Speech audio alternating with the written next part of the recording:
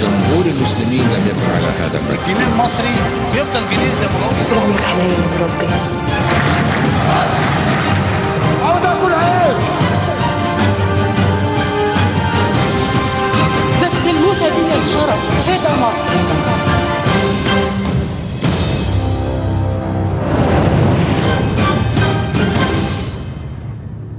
أهلا بيكم. المواطن في مصر بعت رسالة لكل المسؤولين في الدولة المصرية. من أول مؤسسة الرئاسة رئاسة الوزراء البرلمان. لكل أجهزة الأمن القومي في مصر. مخابرات عامة حربية أمن وطني. الرسالة من يوم الخميس بالليل لحد النهارده. هل الرسالة وصلت؟ هل الرسالة اتفهمت؟ هل الرسالة هتبقى محل تقدير واهتمام ولا نكبر دماغنا؟ رسالة المواطن جت بعد قرار الجهاز اللي بينظم الاتصالات الجهاز القومي لتنظيم الاتصالات برفع أسعار دقايق المحمول على اللي بيستخدموا الموبايل آه، بشحن الكروت. الزيادة في حدود 36% 22% ضريبة قيمة مضافة و14% للثلاث شركات علشان فرق الدولار إلى آخره. هل كل أجهزة الدولة تعاملت مع الموضوع ده إزاي؟ هل تعاملت قالت ده محمول ده بعيد عننا دي ثلاث شركات آه كلها أجنبية ملناش علاقة بيها هي تصطفل بقى مع المواطنين مع عملائها مع شركائها؟ ولا تعاملت على إن دي سلعة بتقدم للمواطن جرى رفع أسعارها بنسبة كبيرة جدا؟ 36% أنا نمت بجنيه لقيت السلعة بجنيه 36 قرش. وكل شبكات التواصل الاجتماعي دعوات للمقاطعة. دعوات للمقاطعة. اللي هو مش هنستخدم المحمول. وكانت الدعوات بدأت من امبارح الصبح اللي هو الجمعة. خلاص النهاردة بلاش تستخدموا شبكات المحمول. ونبدأ ندور على برامج تنزل بقى على المحمول ونتصرف وهنعمل إيه ونتواصل إزاي. الزيادة جزء منها جزء منها مفهوم نفهمه. اللي هو رفع أسعار الدولار كانت من 9 جنيه بقى 18 القصة المحفوظة. وارتفعت بعد كده أسعار الكهرباء ارتفع بعد كده أسعار البنزين والحاجات دي. وكل الحاجات دي بتبقى مكون أساسي من مكونات كروت الشحن لكن هل ينفع تجتمع الحكومة وشركات الاتصالات مع بعض ويمد إيديهم في جيب المواطن؟ الحكومة تقول أنا هلسعة وهاخد منه ال 22% وشركات المحمول تقول جاي أنا اتحملت بما فيه الكفاية أنا عايز ال 14% بتوعي. هل بهذه الطريقة يتم التعامل مع سلعة مهمة النهارده؟ دي سلعة استراتيجية. التواصل. التليفون ما بقاش رفاهية. هل ينفع إن إحنا نتعامل معاه بهذا القدر من الخفة؟ هل ينفع؟ هل ينفع إن ما يطلعش أي حد يبل ريق المواطنين النهارده السبت ولا الجمعة يقول هنعيد النظر سندرس؟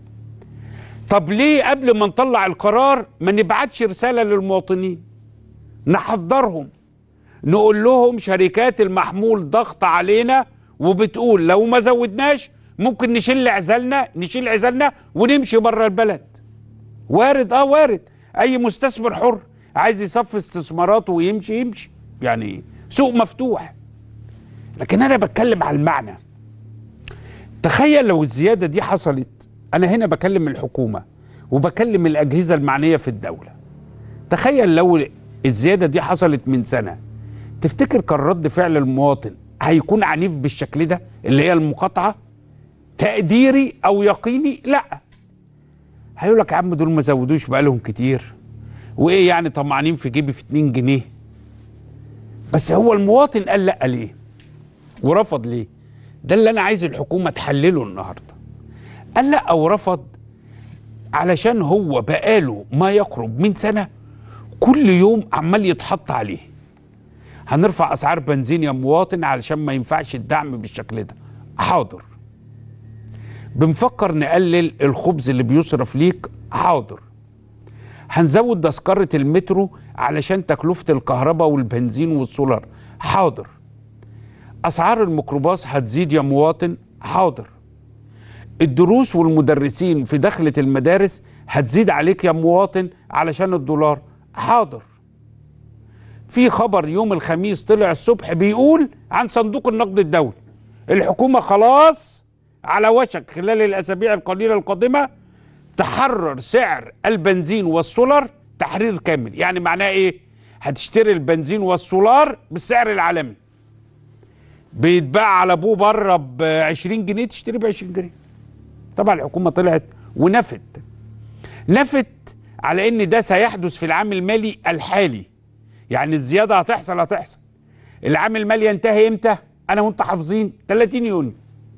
نرجع لكروت المحمول. كروت المحمول المواطن جه قال لك إيه بقى؟ لا. جاي جاي. جاي جاي لأن أنا مش هقدر. حتى إن الغباء في القرار في القرار إنه جاي بعد أسبوعين مثلا من دخول المدارس. أنا لسه بسدد جمعياتي واقساطي في المدرسة. طب ما الواد ابني بديله 10 جنيه يشحن موبايل والبت بنتي بعمل كذا. ومراتي اللي قاعدة في البيت عمالة تلوكلوك آه 20 جنيه. ما هيبداوا يقللوا إيه؟ واحد محترم والله دكتور جامعي. بيكلمني امبارح بيقول لي أنا كنت في المنطقة الدافية في الطبقة الوسطى. قلت له يعني إيه؟ قال لي عارف فرق آه عارف فرق إنبي وبتروجيت وطلائع الجيش اللي هم كده كده ما بينزلوش للدرجة الثانية بس ما بياخدوش الدوري عايشين ومبسوطين والدنيا متعشية معاهم. قال لي دنيتي كانت كده بس بقالي سنة أنا كل يوم عمال أنزل درجة لدرجة خلاص. الرسالة للحكومة مباشرة القضية ليست رفع أسعار دقائق المحمول ولا 34% هقولها لك كده. رايح جاي من المصرف فندي ليك كرئيس وزراء مع كامل الاحترام والتقدير لشخصك. أنا بستهلك إيه؟ ب 100 جنيه كارت محمول؟ ماشي يا عم بلاها. هقلل استهلاكي يبقوا 80% بس أنا كمواطن القضية ما بقتش كده. دي بقت القشة التي قسمت ظهر البعير. القصة مش كارت محمول. ولو انت رجعت كحكومة أو كجهاز ينظم الاتصالات ورجعت الأسعار زي ما كانت القصة مش كده. ده مؤشر ليك كرئيس وزراء وكرئيس حكومة للسنة الجاية. السنة الجاية إحنا داخلين على إيه؟ تطبيق الزيادة الجديدة في الكهرباء. عارفين؟ والمية والبنزين. والسولر الحكومة ماضية مع صندوق النقد الدولي بروتوكول اتفاق. عايزين 12 مليار دولار؟ حاضر تعملوا لنا إصلاح اقتصادي واحد اتنين تلاتة. وبيراجعوه على المزورة كده. عملت إيه بقى إيه؟ صندوق النقد اتسرع وراح مطلع جزء من الاتفاق. وقال لك لازم البنزين والسولر الحكومة تعليه من هنا لآخر السنة. طبعا الحكومة قالت لا جاي أنا ما أقدرش. لا ده الدنيا بقى تولع أكتر. إذا الرسالة للحكومة بتقول إيه من المواطن؟ أنا اتحملت السنة دي اللي أنا ما اتحملتوش في 60 سنة. ممكن أكون متصور ومستوعب إن عندك ضغوط كحكومة وإن التعويم والإصلاح الاقتصادي كان لا مفر منه لكن أنا وصلت خلاص بنتهي. هتستفيدي إيه يا حكومة؟ لما ال 100 مليون بح خلاص. هتبقى رئيس وزراء إيه؟ المصريين؟ مفيش مصريين. بح خلصوا على الحكومة إنها تراجع نفسها. القصة مش قصة. حاجة كده في الاقتصاد Excel sheet أطلع على الكمبيوتر عندي كم مليون مستهلك هعمل كذا هزود هعوض الخسارة. لا. ده شعب وأسر كل ساعة بيطحنوا ويتهرسوا. الرئيس السيسي طلع في أول مرة وهو بيتكلم على رفع أسعار البترول. أوكي. تاني مرة المواطن بلعها ماشي. الضربة الأكبر كانت تعويم الجنيه. دي الضربة اللي هي قطمت الوسط. الواد اللي كان بيجهز نفسه والبنت اللي كانت بتجهز نفسها لو كان متفق على أجهزة كهربائية وجواز بعد سنتين النهارده بيحتاج خمس سنين بقى. ما الثلاجه بكام والبوتاجاز بكام؟ التفاصيل الصغيرة دي لازم تبقى قدام المسؤولين في الدولة وهم بياخدوا قراراتهم. لازم يحللوا معنى غضب وثورة المواطنين من يوم الخميس للنهاردة. أنا هقدر أقاطع محمول؟ طب على الأقل ما ينفعش ده أمن قومي طب هقاطع بعد كده إيه؟ بنزين ولا أكل ولا مدارس؟ في دعوات لرفع إيه الم- دعوة للمواطنين لمقاطعة شركات المحمول. وعايز أقول لك بالمراجعة لقوائم الأرباح عايز أقول لكم كل شركة من شركات المحمول والشركات الكبرى مدرجة في البورصة. يعني إيه؟ بتقول كسبت كام خسرت كام عشان حاجة واحدة. لو أنا داخل كمستثمر بشتري سهم أعرف الشركة دي رايحة فين بتكسب ولا بتخسر؟ هنعرف من الأستاذ محمود العسقلاني الكاتب الصحفي رئيس جمعية مواطنين ضد الغلاء. هل شركات المحمول بتكسب ولا بتخسر؟ مساء الفل يا أستاذ محمود ونبدأ بإجابة هذا السؤال. مساء الخير يا أستاذ محمد. هذا السؤال الإجابة بتاعته هذه الشركات لا يمكن بأي حال من الأحوال أن تحقق أي شكل من أشكال الخسارة. لأنه خليني أقول لك مثلا ال- ال call tone مم. ال call tone لما يبقى عندك 100000 خط موجودين آه، احسب متوسط 70000 خط عندهم call tone في 5 جنيه ولا 3 جنيه أنت بتتكلم على حاجة تزيد عن 200 مليون جنيه كل شهر مم. شركات المحمول بتاخدها من جيوب المصريين في موضوع هايف وتافه ملوش أي قيمة وإحنا مش محتاجينه على فكرة النهارده طالبنا المستهلكين بالتنازل على ال call tone ده إنهم يلغوا مم. تمام خليني أقول لك إنه ما فيش مستحيل أي شركة من هذه الشركات تحقق لعده اعتبارات اولا البنية التحتية لهذه الشركات جرى بنائها وتأسيسها وانتهت منها تماما أو من م- يعني ما عندهمش أي حاجة في البنية التحتية اللي هي الأنتنة وال ومراكز الإرسال وكل الحاجات دي عملوها خلاص انتهوا وبالتالي كل اللي بيعمله دلوقتي مصاريف تشغيل يعني شوية شوية سولار نعم. شوية سولار شوية كهرباء آه، آه، أجور مرتبات الموظفين كل دي حاجات لا تستدعي يزود 36% نعم. رقم مش قليل رقم كبير. ثم إنه أنت يعني أنت يعني في النهاية الثلاث شركات بياخدوا فلوس بيخرجوها بره شركات. آه، أجنبية موجودة على أرض مصرية إحنا بنرحب بكل الاستثمارات وبنرحب بكل الناس. لكن في جزء من الاستثمار إن أنت تدور جزء من رأس مالك أو جزء من قول لي إيه ارباحك دعوتك كرئيس. جمعية مواطنين ضد الغلاء؟ بتدعو بقى المستهلكين مستهلك المحمول لإيه؟ إحنا بند... إحنا داعيين لحملة مقاطعة منذ صباح الجمعة أمس الجمعة إلى يوم ال- الاحد مساء الأحد. وبأمانة شديدة إحنا ربما نضطر إلى إعلان موقف آخر غير المقاطعة إن إحنا ننقل للشركة الرابعة. واحتمال كبير جدا إن إحنا خاصة إن الشركة الرابعة تملكها الدولة المصرية مملوكة من ومقدمة أسعار أقل بدون زيادة. ومقدمة أسعار أقل ومقدمه آه نظام أفضل ومقدمة آه آه حاجات option عالي جدا. مقدمة كل الحاجات وهتقدم لك ال- الخدمة الأهم من الرقم اللي متعود عليه الناس. كل ما في الأمر أنت هتزود zero 15 على نفس الرقم اللي أنت بتكلمني عليه سواء كان على الثلاث شركات على فودافون أو اتصالات أو موبينيل وبالتالي أنا شايف إنه ده حل ربما يبقى أفضل خلال المرحلة القادمة إن إحنا نحط فلوسنا بقى في في بلدنا. وإحنا طول الوقت بنستنزف ليه؟ خاصة إن كل الكلام ده هو. الاستثمار ملوش جنسية يا أستاذ. محمود. أستاذ محمود اسمح لي الاستثمار ملوش جنسية. أنا لازم أشجع الاستثمار الأجنبي يجي بلدي. أنا مش ضده. أنا كمستهلك بدور على مصلحتي. مصلحتي؟ آه سياسة تسعير. والله جاي آه طلعت رخيصة. إن أيوة. شاء الله مع أي جنسية مستثمر هروح له. يعني. معايا مداخلة ثانية يا كريم آه. طب أنا خليني بشكرك أقول لك آه. اتفضل يا أستاذ خليني أقول لك حاجة يا أستاذ محمد. خليني أقول لك حاجة أخيرة. يعني خلينا نتكلم بوضوح أنا مع الاستثمار الأجنبي ومع إن إحنا آه، نفتح بلدنا للاستثمار وده ده ده مهم جدا. لكن أنا أنا أمامي الآن فرصة فرصتين. فرصة إن أنا آخد حاجة آه، لأجنبي وفرصة لمصر. ايهما أفضل. أنا من وجهة نظري أكيد. إن اخد شركة مصرية. أكيد. متفق معاك وبشكرك أستاذ محمود عسقلاني رئيس جمعية مواطنين ضد الغلاء في الاثناء دي النهارده. محكمة القضاء الإداري بالإسكندرية تلقت النهارده دعوة عاجلة من أحد السادة المحامين بيطالب رئيس الوزراء بإيقاف آه، قرار الجهاز القومي للتنظيم الاتصالات بإيقاف الأسعار آه، اللي حصلت يوم الخميس اللي فات.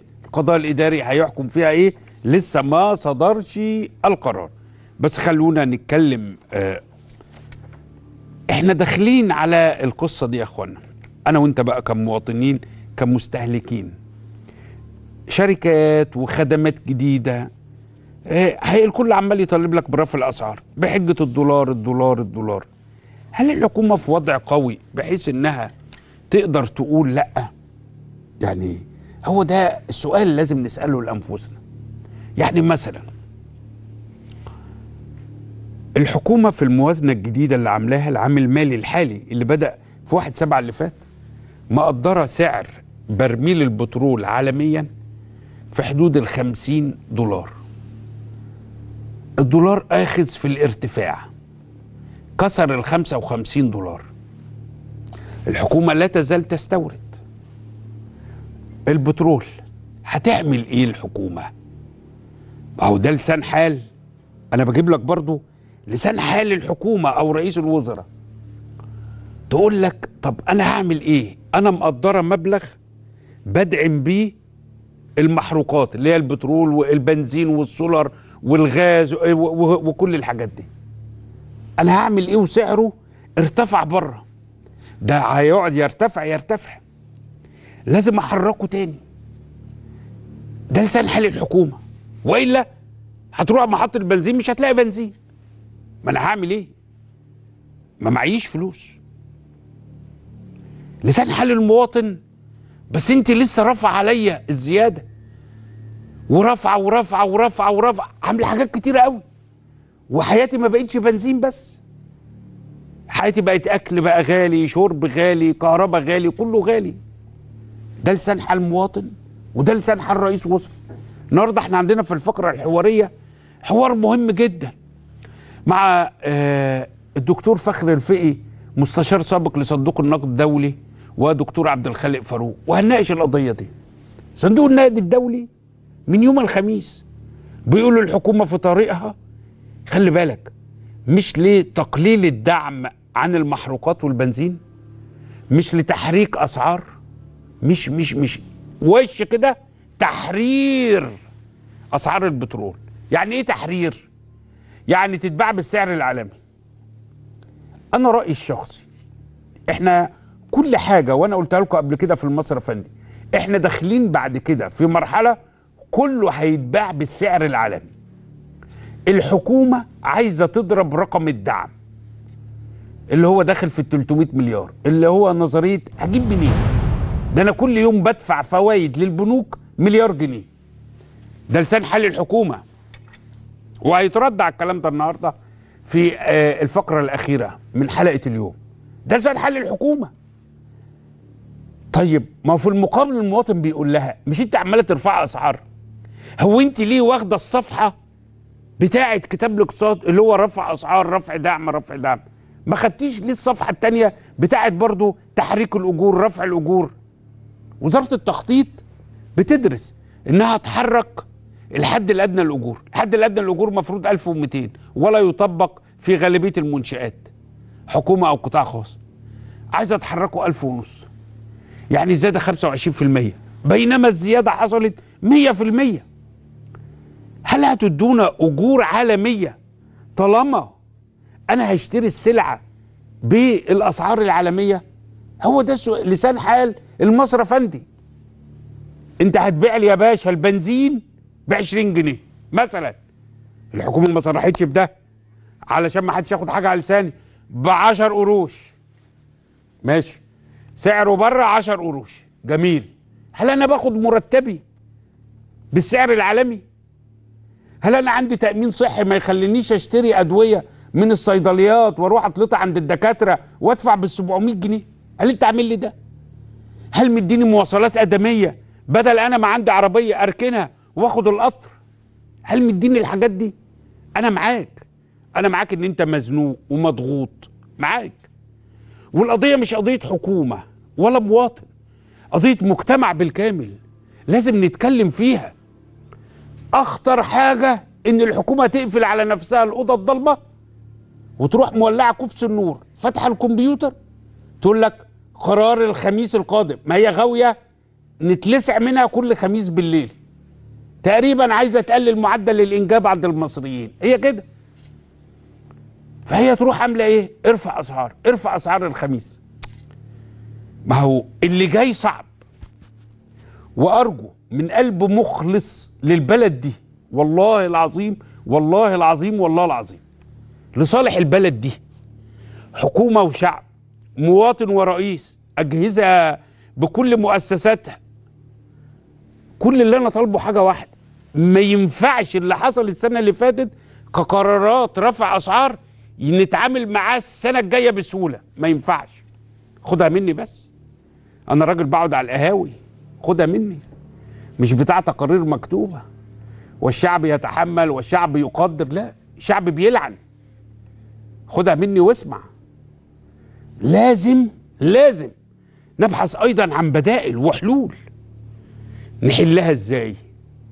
نتناقش. نسمع صوت الناس في البرامج. أنا لو فتحت التليفون دلوقتي كله كله هيبقى ضرب يا حكومة فيكي بس عشان أنا بحبك. مش هنفتح تليفونات. لكن كل اللي أنا طالبه بما إن الحكومة داخلة السنة الجاية على قرارات رفع أسعار جديدة في خطتها للإصلاح الاقتصادي. اللي أنا متفق مع الحكومة 100% كقرارات اقتصادية. مختلف على الجرعة والتوقيت. ومختلف إن مفيش قرارات أخرى تظبط المواطن الغلبان. أو مش بنفس الدرجة والكفاءة. أرجو تكون رسالة المواطن يوم الخميس بالدعوة للمقاطعة لشركات المحمول تكون وصلت للحكومة. القصة مش تليفون ولا آه، موبايل. كان من سنة لو الزيادة دي حصلت ولا تفرق مع المواطن؟ هنبلعها. إنما 10 15 زيادة ورا بعض جاي. وبعدين إيه بقى كيف الحكومة في يوم الخميس ده؟ بجد والله يا إخوانا. الزيادة بتاعت البنزين يوم خميس. زيادة جمارك يوم خميس. زيادة كروت محمول يوم الخميس. هل الحكومة السيد المحترم اللواء أبو بكر الجندي رئيس الجهاز المركزي للتعبئة العامة والإحصاء بلغها بإن التعداد قبل ما يعلنوا السبت وإن تعدادنا وصل ل 104 مليون نسمة بره مصر وجوه مصر فالحكومة قالت لأ. خلينا بقى ننكد عليهم يوم الخميس ونقطع النسل والخلف. يعني أنتوا عشر قرارات جايين في عشر خمسان تعدادنا ممكن يبقى خمسين مليون. فقرة السبعة اللي إحنا بنخليها في الجزء الثاني من حلقة النهاردة هنبدأ بيها النهاردة واخدين أشهر سبع قرارات خدتها الحكومة طبعا كرفع أسعار أيام خميس. نبدأ بالقرار الأول. ضريبة القيمة المضافة تحل محل المبيعات في الخميس 8 سبتمبر 2016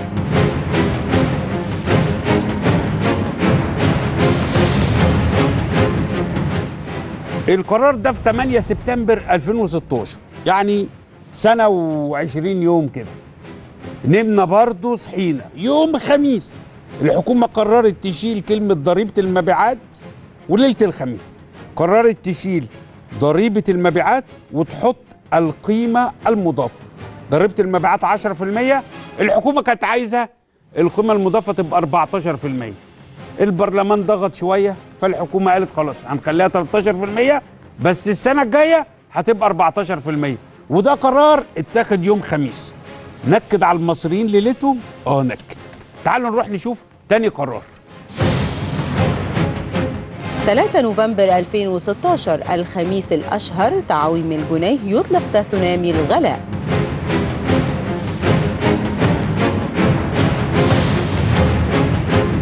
ده القرار اللي خلى كل رجالة مصر يسيبوا البيت يوم الخميس ده. ده القرار اللي المصريين صحيوا فيه يوم الخميس الصبح 3 نوفمبر على قرار السيد محافظ البنك المركزي. بالبلدي كده تعويم الجنيه المصري. سيبوا للعرض والطلب. واللي نتج عنه الجنيه طلع من 3 تمانيات 8 جنيه 88 قرش لقفز لحد 19 وقارب على ال 20 واللي كان حاطط 10000 جنيه عمي في البنك قوتهم الشرائية. تاني يوم الجمعة بقوا 5000 جنيه. القرار اتخذ إمتى؟ الجمعة. لما تسأل مجتمع المال والأعمال قرارات زي كده مفروض تبقى يوم حد مثلا بداية البنوك وعمل البورصات. لكن الكيف بقى خلاص يوم الخميس. هنكد عليك يا مصر افندي تعالوا نروح نشوف ثالث قرار علت فيه الحكومة أسعار سلع. الخميس 1 ديسمبر 2016 رفع التعريف الجمركي على السلع المستوردة.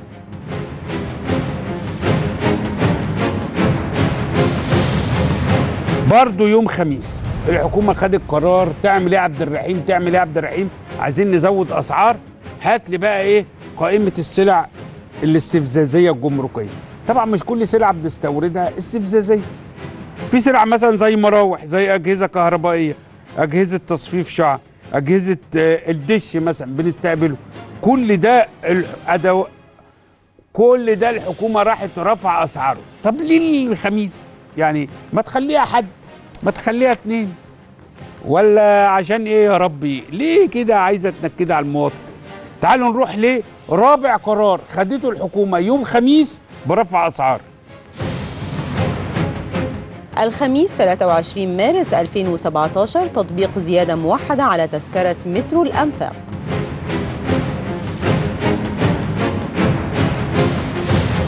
23 مارس 2017 اللي فات.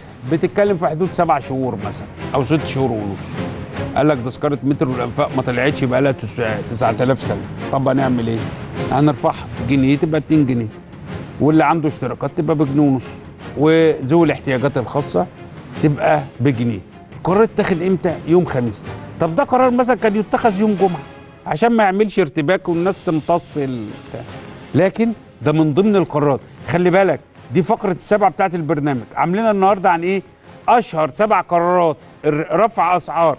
خدتها الحكومة يوم خميس. السؤال ما هو كيف الحكومة يوم الخميس؟ لو أنت كحكومة عندك مشكلة في يوم الخميس الشعب ما عندوش مشكلة في يوم الخميس. تعالوا نروح نشوف ليه قرار تاني الحكومة خدته برفع أسعار يوم الخميس. الخميس 29 يونيو 2017 زيادة أسعار البنزين والسولار والغاز والبوتاجاز.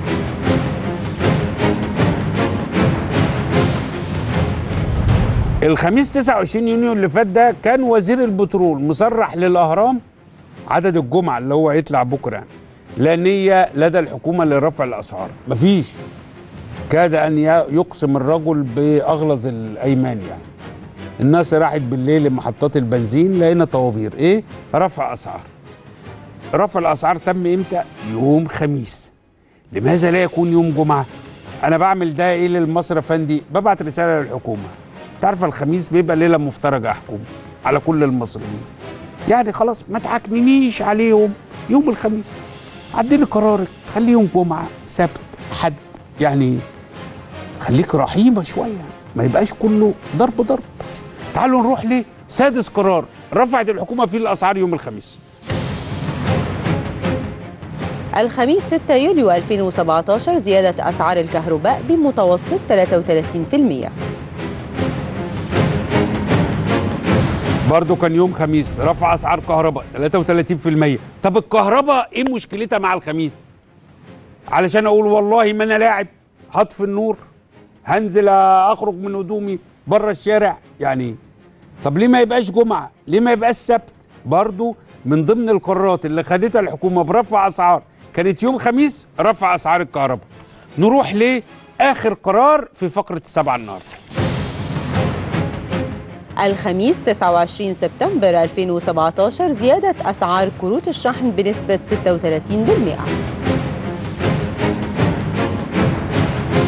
ده القرار اللي هو بتاع أول امبارح بقى اللي هو إيه مسك الختام. قال الحكومة خلاص إحنا خلاص خدنا قاعدة إن الحكومة لو ناوية في أي وقت ترفع أسعار يبقى يوم خميس. إحنا كلنا نروح على النتائج بتاعتنا ونشيل يوم الخميس علشان الحكومة ما ما ما تقربش مننا فيه. أو نروح على الإندكس بتاع السيد رئيس الوزراء ونشيل منه يوم الخميس. يوم الخميس بقى يوم مرعب عند المصريين رغم إن هو المفروض كان يوم انبساط وفرفشة وسعادة. لا يوم الخميس النهارده بقى المواطن عامل كده الصبح. محدش يقرب مني. في أي وقت ممكن أنفجر. إيه؟ رفع أسعار. رفع أسعار آه، ده كان من أهم الحاجات. اللي أنا كنت منتظرها النهارده في التعداد. النهارده السيد اللواء أبو بكر الجندي وبحضور السيد رئيس الجمهورية وكبار قيادات الدولة أعلن عن تعداد آه، اللي بيجريه الجهاز منذ أربع سنوات. تعداد بيجري هذا الجهاز كل عشر سنوات. يعني آخر تعداد أعلن 2007 الجهاز شغال فيه بقاله أربع سنين. هذا التعداد أهميته أيضا إن هو تعداد إلكتروني ما بقاش يدوي. لكن النهارده آه السيد اللي هو أبو بكر الجندي آه الأرقام تحتاج إن إحنا نتوقف أمامها. غير إن نتوقف أمامها في المصرف فندي أتمنى من السادة المسؤولين في الدولة المصرية والأجهزة المعنية إنهم ياخدوا هذا التعداد ويقعدوا يحللوه ويتبني عليه قرارات بل قوانين. لما تعرف من ضمن أرقام التعداد مثلا مثلا إن في أطفال بيتجوزوا في سن 12 سنة فين التحريم أو فين التجريم ده؟ ده بيحصل في قرى مصر ريفها وصعيدها. ولما تعرف إن في أحد السادة النواب كان بيطالب بتخفيض سن الزواج من 18 إلى 16 وإلى 14 للبنت.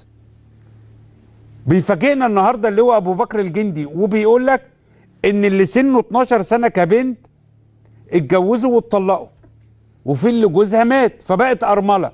طفلة عندها 12 سنة أرملة أو مطلقة.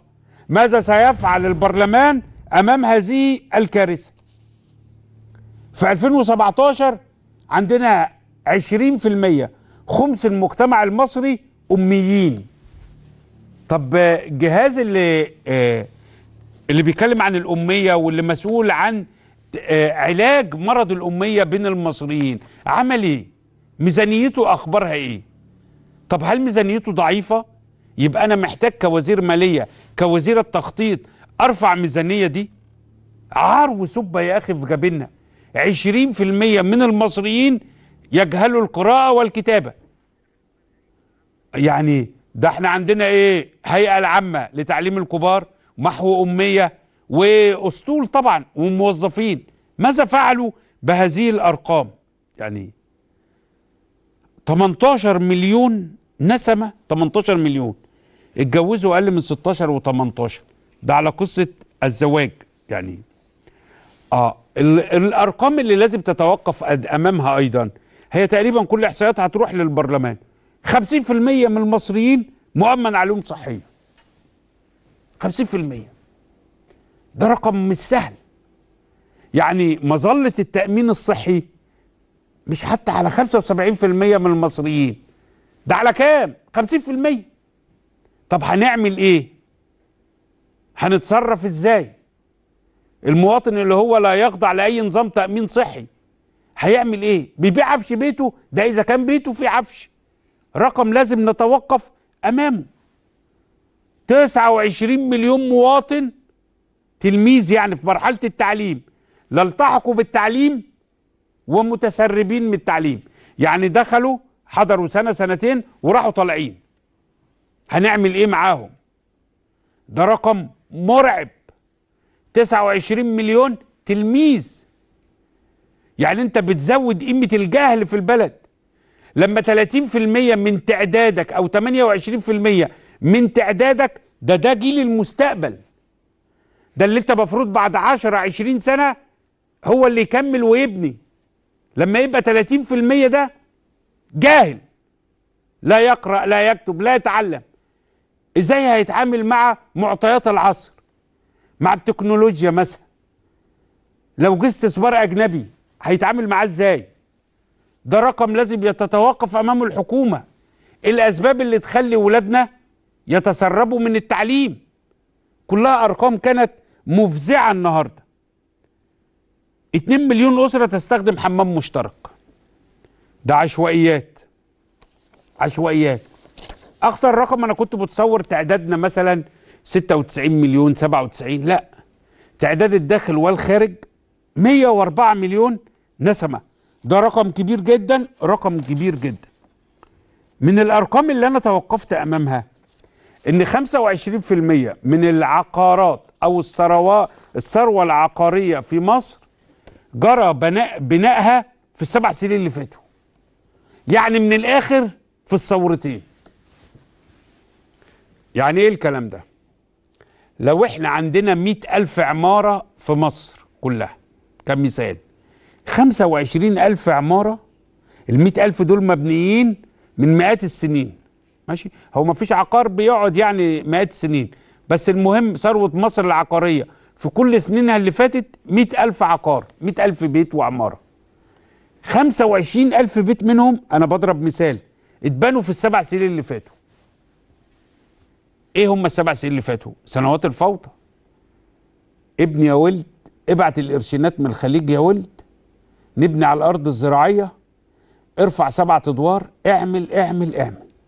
أكبر حركة إنشاء وتشييد وبناء اتعملت في مصر اتعملت في الثلاث سنين اللي فاتوا بس ده إنشاء نظامي ده اللي عمله آه، آه، الرئيس السيسي. في رقم وقفت قدامه.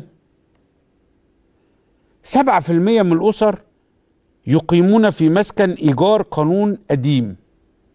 طب لما سبعة في المية من الأسر طبعا دول ناس أنتوا عارفين قضية قانون الإيجار القديم. حاجة كده زي القنبلة الموقوتة. الملاك القدامى عايزين بيوتهم. اللي بيدفع فيها ملاليم بأسعار النهاردة. والساكنين يقول لك لا هنطلع هنروح فين؟ ده إحنا مثلا كبرنا وبناخد معاشات. بس الرقم ده مثلا ما طلعش كبير. أنا كنت متصور مثلا 20 30% من المساكن في مصر. إيجار قديم. طلع 7% فقط. مش معنى كده أنا بقول لك ما تطلعش قانون العلاقة بالملك والمستاجر. بس 7% مثلا فقط. 65% من الأسر بس اللي عندهم صرف صحي. 35% ما عندهمش. أرقام عمال تتعامل معاه. أتمنى كل اللي أنا بتمناه إن كل الأجهزة المعنية في الدولة آه، تقرأ هذه الأرقام. لكن تمنيت تمنيت وتمنى غيري يعني إن هذا التعداد يذكر أيضا أرقام أخرى. يذكر لي نسب الفقر في مصر. قد إيه؟ نسب الجوع بين المصريين قد إيه؟ يذكر لي نسب البطالة قد إيه؟ ديون الأفراد والمواطنين وتحديدا فئات زي العمال الموظفين الفلاحين قد إيه؟ ده أرقام كنت أتمناها. لا أعرف لماذا لم تذكر؟ هل ممكن تداركها؟ الله أعلم. أتمنى لأن التعداد بيجرى كل عشر سنوات يوضع ده في الاعتبار. لكنه على أي حال جهد مشكور للواء أبو بكر الجندي والجهاز الكبير اللي اشتغل معاه والشباب. بس عايز أقول لك في المقابل وأنا بكلمك على 25% من عقاراتنا اتبنت في السبع سنين اللي فاتوا ده أحد أسباب. ربما يكون أحد أسباب طبعا مع تعويم الجنيه لرفع سعر طن الحديد اللي فيه تقديرات بتوصل إلى إن الطن ممكن يوصل ل 15000 جنيه في القريب العاجل بعد قرار وزير الصناعة والتجارة إيه، بزيادة رسم الإغراق. يعني إيه بالبلد رسم الإغراق؟ أنت بتستورد حديد من أوكرانيا من تركيا من الصين. فأنا أقول لك على كل طن كمستورد ادفع لي مثلا 3000 جنيه 4000 جنيه. فده يرفع سعر طن الحديد. فتخليك تقبل على المصري. يا ريت المصري هنا بقى يتلم أصحاب المصانع أو بعضهم. لا يعلوا الأسعار في ظل حركة التشييد والبناء الكبيرة. اللي هي فكرة بس الرحمة بالمصريين. اتكلمنا كتير. تعالوا نشوف فيديو جميل جدا. آه وزير مالية مصري أسبق قبل ثورة 52 زار المسجد النبوي آه في الأربعينات من القرن الماضي. وحزن إن المسجد النبوي آه مقام سيدنا النبي عليه أفضل الصلاة والسلام بيق... بي... آه، بالقناديل بالزيت يعني بالشمع يعني. فالمعقولة مصري مواطن مصري فقرر إن هو ينور المسجد النبوي. أول إنارة للمسجد النبوي تمت على أيدي على يد مواطن مصري. احفظ المعلومة دي. المسجد النبوي مش ملك السعودية بس لا ملك كل مسلمي العالم. شوفوا التقرير ده ونرجع تاني. أضواء خافتة ومصابيح قليلة ورؤية تكاد تنعدم.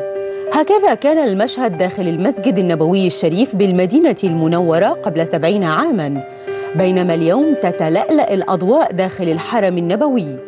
حتى تكاد أضواؤه تظهر بوضوح من الأقمار الصناعية كبقعة من نور تضيء ما حولها.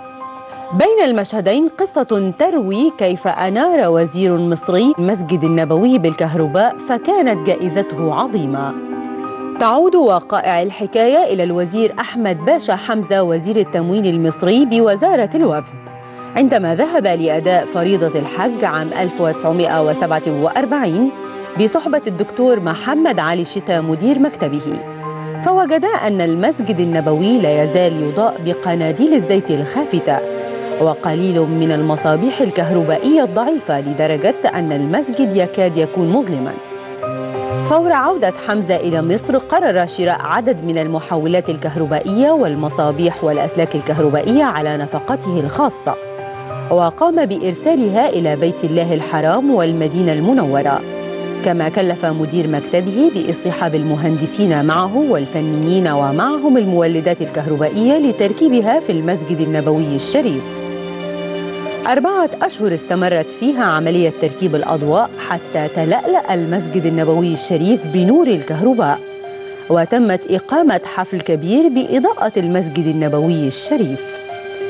وحين سافر أحمد حمزة لأداء مناسك الحج والعمرة في العام التالي استقبله أمير المدينة المنورة وحقق له مع الدكتور محمد علي شتا حلما كان يراودهما وهو الدخول إلى مقصورة قبر الرسول صلى الله عليه وسلم بعد استصدار أمر ملكي خاص لتكريمهما ليتركا خلفهما قصة تستحق أن تروى وفخرا بأن أول من توسع في إضاءة المسجد النبوي بالكهرباء هما رجلان من مصر.